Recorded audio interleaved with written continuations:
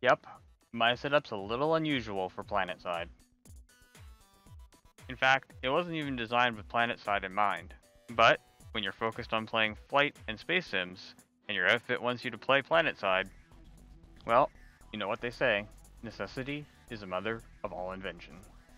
Firstly, let's get this out of the way. You don't need a setup as elaborate as mine in order to set up joysticks in PlanetSide 2.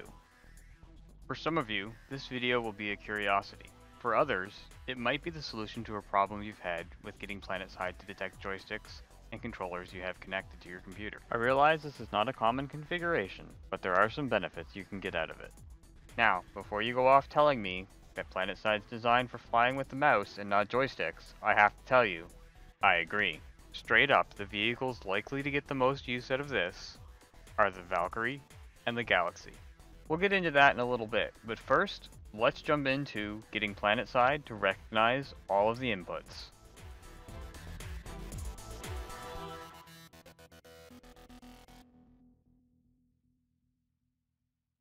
I personally enjoy flying the Valkyrie for my outfit, so getting my setup to work for PlanetSide 2 was essential for me joining in with them.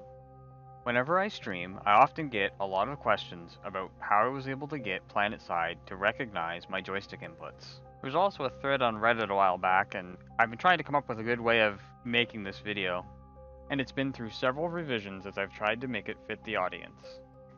For this remastered version, I wanted to include this update as pointed out by user Joypunk on Reddit. I've never used the Steam version, so I never realized that Steam can block controller inputs. Hopefully, if you're looking to use a joystick with PlanetSide, this video will help. PlanetSide does offer some support for using a joystick, however, it's very limited. If you only have one joystick or gamepad device connected, then you shouldn't have any difficulties in getting PlanetSide to recognize the input and bind things in-game. However, in order to get the most use out of a joystick and throttle, or joystick and joystick, or even including pedals, we need to use as many analog axis inputs as possible. If a particular input can be bound to an analog axis, it's always to your advantage, because it will give you more precision over controls. Since PlanetSide will only pick up the first input device, this poses a problem. Since most of the time, these analog inputs are going to be spread across multiple physical devices, each of which are going to be recognized separately as their own device.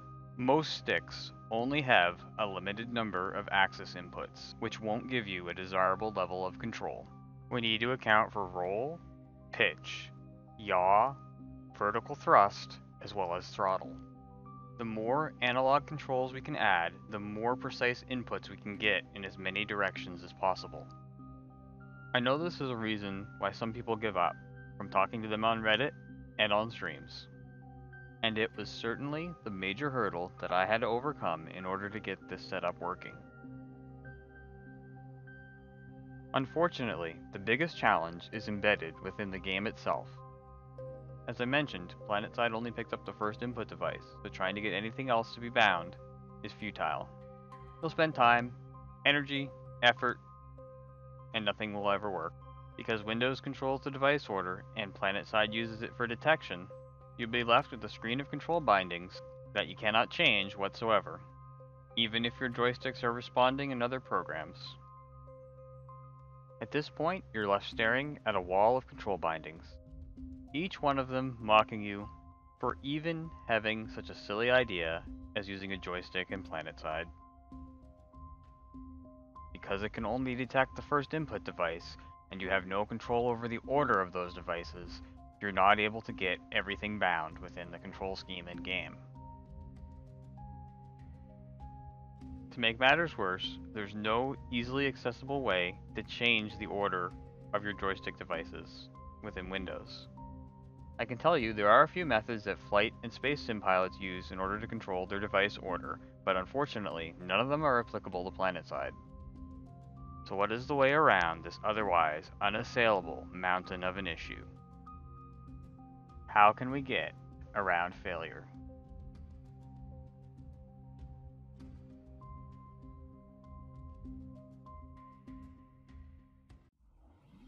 because it's up to the developers to add support for recognizing multiple joystick devices.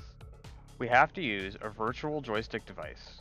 to merge all of our physical devices into one controller that PlanetSide will detect. My go-to for this is VJoy and Joystick Gremlin. I should note that there are many different ways of doing this, and some joystick manufacturers have their own software, such as Thrustmaster's Target software, but VJoy and Joystick Gremlin will work with any controllers. This allows you to create a composite device out of all your hardware. VJoy creates a virtual joystick you can send input to, and Joystick Gremlin remaps controllers to that input. This allows you to merge all devices to the VJoy device. Using this method, we can make the VJoy device the first detected device by PlanetSide, and we can pass up to 8 analog inputs to it. I've posted links in this video so you can download both. There's still no precise way to control the device order, even with VJoy, so you'll have to add and remove devices until one of them becomes the first device. Unfortunately, because it's random, it's going to be trial and error and will depend on the other devices you have connected. With a little bit of playing around using Joystick Gremlin, we can find which VJoy device is being detected by PlanetSide by remapping a button on the joystick to a VJoy device and then seeing if it will bind in game. Then we can remap the input from our controllers to that VJoy device. In my case, this happens to be VJoy device 11. You'll need to make sure that the profile you create under Joystick Gremlin is running anytime you want these inputs to work. And that's the hard part out of the way. We can go back into PlanetSide and configure all of the control bindings. If something doesn't appear to be working, make sure the setup in Joystick Gremlin is correct. Make sure the buttons and analog axis inputs you want to send to the virtual joystick so you can send to PlanetSide are set up properly. If you've managed to make it this far, you're ready to take to the skies of Auraxis with a fully fledged joystick setup. At this point, I can already sense that some people may be saying, it's not fair to have that many analog axis inputs on a single device. Well, here's the same type of device that PlanetSide uses on console, that has 5 or 6 analog axis inputs, more than enough to cover everything PlanetSide needs, without any kind of special configuration, and can be used on PC. And just like a mouse versus a gamepad for aiming, the same holds true for joysticks. This is more akin to using software that comes with a keyboard or mouse to remap their buttons. We're only getting one action per button press, or one action per change in analog axis input. The inputs are simply being forwarded to one device that PlanetSide can read. Now that you've seen the method needed to get everything working, you can decide if it's worth the hassle. We are partway to answering the question, should you use a joystick in PlanetSide 2? To answer that question once and for all, we need to take a look at the advantages and disadvantages of analog input, and weigh them against the pros and cons of using a mouse and keyboard. As previously mentioned, aiming is going to be difficult, especially compared to a mouse because PlanetSide is optimized for that type of input. Your ability to aim is going to be straight up capped by the quality of the sensors in your joystick as well as the smoothness of the gimbal mechanism. Both of these points also apply to all other aspects of flying, as maneuvering is ultimately done with the joystick in this setup. Using a higher quality joystick, such as one with Hall effect sensors and a metal gimbal, will deliver the best results, and will also deal the best with setting the joystick dead zone to zero. This allows the most minute movements to be accurate. Lower quality joysticks, such as those with pot sensors, and plastic gimbals are naturally going to be less effective. Even sticks that you may think of being high quality, such as the Thrustmaster Warthog here, are not going to be up for the task. Although realistic, because of its relatively high spring strength and sticky gimbal, it won't work well for our purposes, especially for quick, precise actions. This is because when using analog input, we have to transition through an axis to get the maximum input, Although in general, as long as you're not aiming, almost any joystick should work fine. The precision of the joystick will matter most for aiming, but the quality affects all aspects of flight.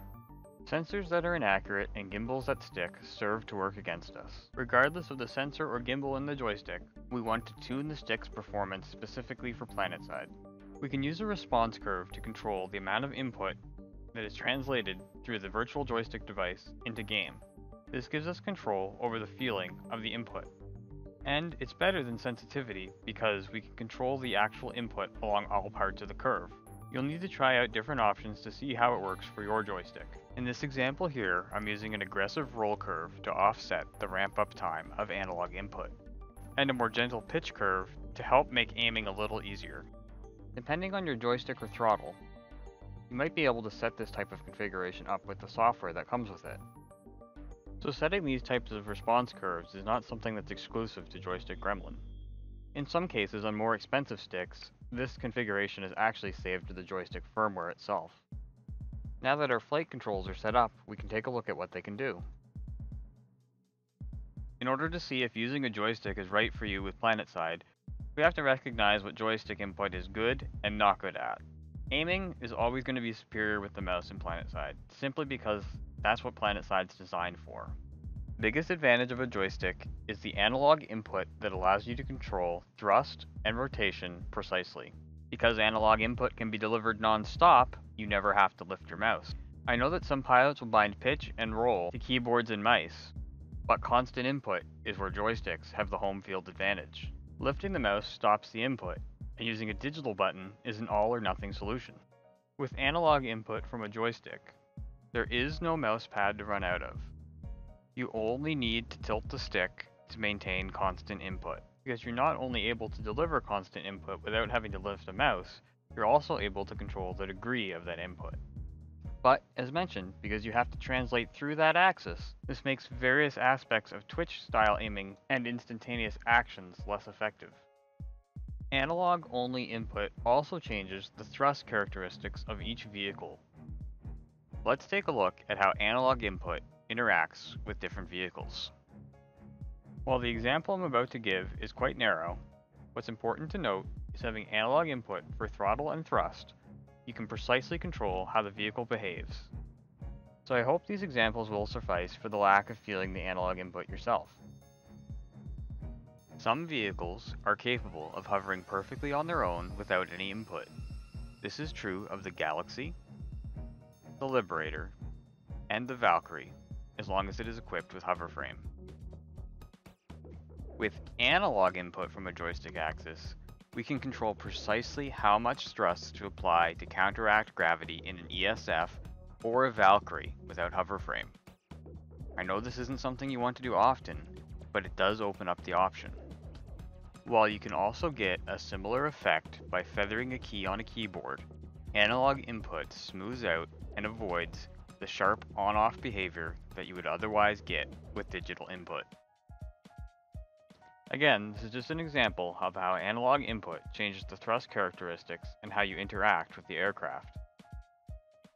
These reasons are why I mentioned previously that having analog input bound to as many controls as possible is superior to having digital buttons. I think at this point you get the picture. It's time to wrap things up.